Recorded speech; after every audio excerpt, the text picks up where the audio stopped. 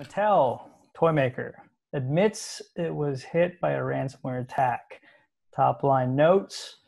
Um, I mean, your favorites Barbie. I don't know if it's your favorite specifically, but Barbie, Fisher Price, Hot Wheels. Uh, these guys are giants. They're they're monsters. They've been making toys for decades and they've been really good at it. Uh, but they were infiltrated. They were hacked, and um, some notes, assumptions as of now.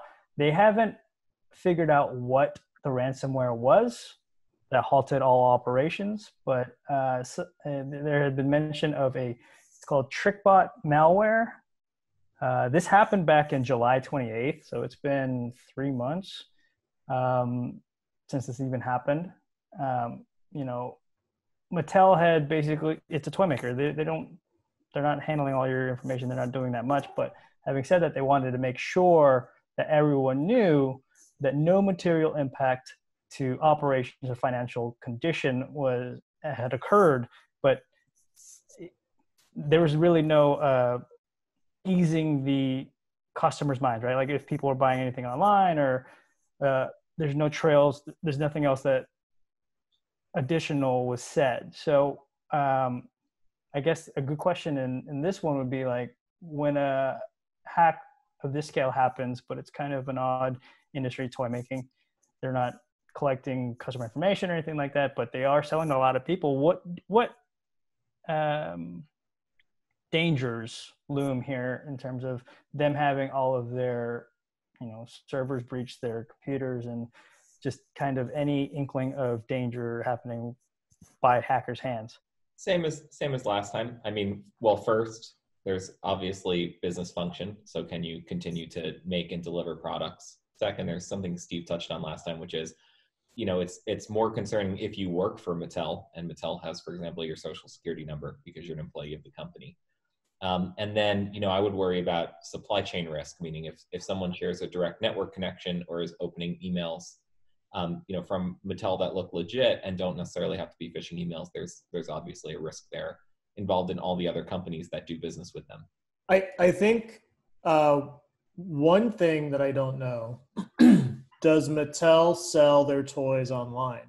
Because if they've gotten into the world of e-commerce, that breaks everything wide open.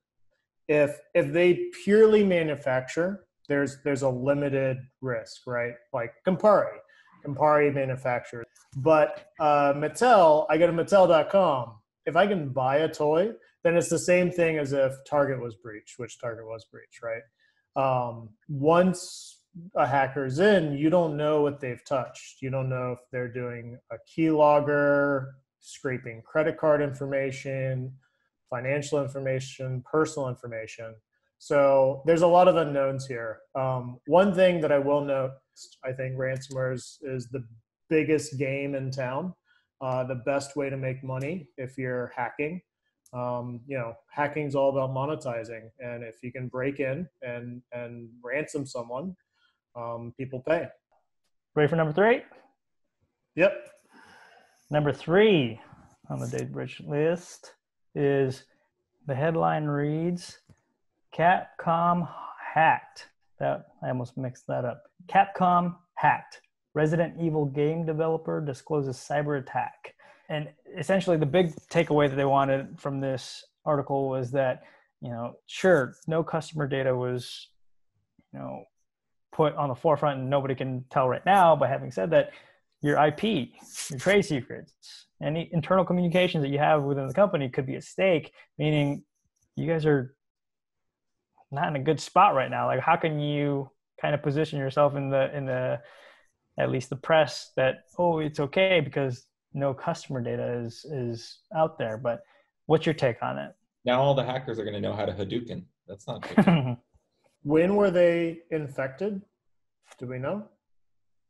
The short press release was uh, given out last Monday, so it's been like a week. Mm-hmm. It didn't. It didn't say like initially it happened in you know well, the reason they're saying it now is because egregor when you don't pay they publish your name on their website and so they they were playing the game of okay when are people going to figure out that we've been hacked? And then they saw, okay, egregor will publish if we don't pay and, and such and such. So, so we know they haven't paid, right? Or else egregor wouldn't have ha- wouldn't have announced it. Um, so maybe they will pay now. Um, but yeah, I mean, this is this is bad. Uh, if they start releasing game source code, you're going to see a hundred Street Fighter clones that are out there.